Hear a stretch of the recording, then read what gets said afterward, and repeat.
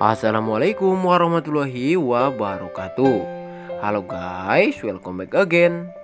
Nah di episode malam ini kita pun bakal disuguhkan adegan di mana Nana akan kasih tahu kepada Dewa Siapa yang telah menabrak Claudia sebenarnya yaitu si Roni Dan tentunya ada di mana nantinya si Roni yang akan dimurka oleh Mas Dewa Begitupun dengan si Kevin Dan ditendang oleh Neratu pergi dari rumah Buana Penasaran bukan? Makanya itu tonton dan simak sampai selesai supaya tidak ada kesalahpahaman di antara kita karena ini berisi tentang ulasan dan prediksi untuk episode nanti malam.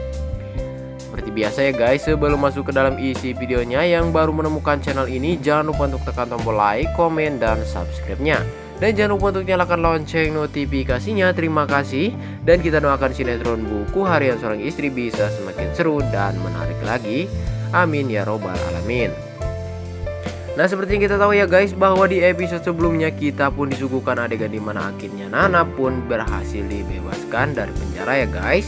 Karena tentunya Nana pun tidak bersalah dengan bantuan dari Dewa begitupun dengan Pak Arman.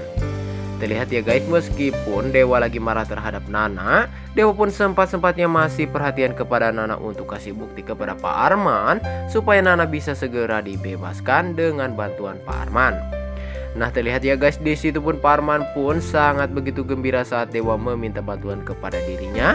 Di sisi lain juga terlihat ya guys bahwa adegan di mana Parman yang berhasil membebaskan Nana dari penjara dan kasih bukti kepada pihak kepolisian kalau Nana tidaklah bersalah dengan kasih sebuah handphone milik Pajar yang ternyata di dalam isi video dari HP tersebut adalah rekaman Pak Pajar yang ngasih sebuah rekening untuk Nana supaya kalau nantinya ada kebutuhan Papa Jar pun bisa langsung menyuruh Nana untuk segera melakukannya.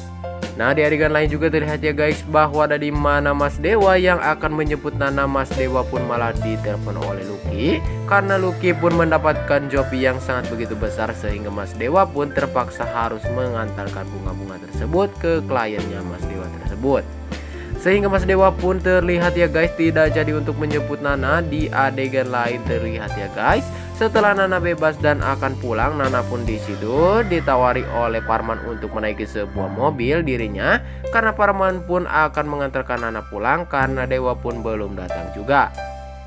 Tapi di situ pun malah memilih untuk menunggu suami tercintanya tersebut untuk menjemput dirinya. Nah di sisi lain juga terlihat ya guys bahwa ada di mana Pasya yang terlihat murka terhadap Dewa karena Pasya pun beranggapan bahwa Dewa tidak peduli terhadap istrinya bahwa Dewa pun tidak mau menjemput Nana yang menunggu di kantor polisi.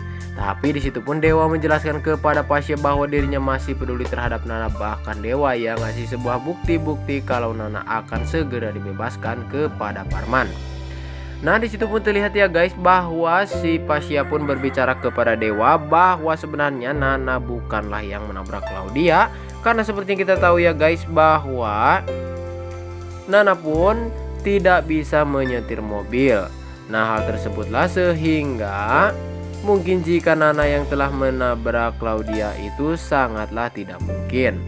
Nah tentunya ya guys Mas Dewa pun kaget dan Mas masih saja tidak percaya ya guys. Karena seperti yang kita tahu Mas Dewa pun baru sadar bahwa istri tercintanya tersebut tidaklah bisa menyetir mobil. Nah di adegan lain juga terlihat bahwa terlihat ya guys di situ pun Pasya memberitahu kepada Parman dan Budiana bahwa dirinya sudah memutuskan hubungan bersama si Priska. Hal tersebutlah yang membuat percecokan antara Pasya dan Pak Arman tapi meskipun hal tersebut terjadi ya guys Pak Arman pun di situ bisa menerima. Tapi tidak untuk sekarang ini karena Pak Arman dan Lula pun harus menjaga perasaan Priska karena yang telah ditinggalkan oleh Pasya Nah bahkan ya guys di situ pun Pak Arman pun mengizinkan kerjasama antara Pasya begitu pun dengan perusahaan. Dirinya yang dipimpin oleh Lula bisa berjalan kembali dengan satu syarat tidak boleh membawa perasaan di dalam pekerjaan.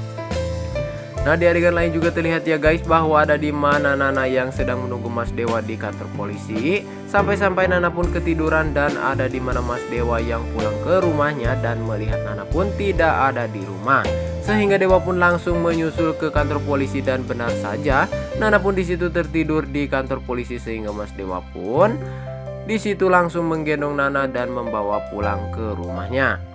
Nah setelah bangun terlihat ya guys Mas Dewa pun di situ menanyakan kepada Nana bahwa Nana pun harus jujur ya guys Karena Mas Dewa sudah tahu bahwa yang telah menabrak Claudia sebenarnya bukanlah Nana Melainkan orang lain yang dilindungi olehnya. Nah tentunya guys di episode nanti malam kita pun bakal disuguhkan adegan yang sangat begitu menegangkan dan semakin seru lagi karena nantinya Nana pun akan terpaksa ya guys akan kasih tahu kepada Dewa bahwa yang telah menabrak Claudia sebenarnya adalah si Tangkurak Roni.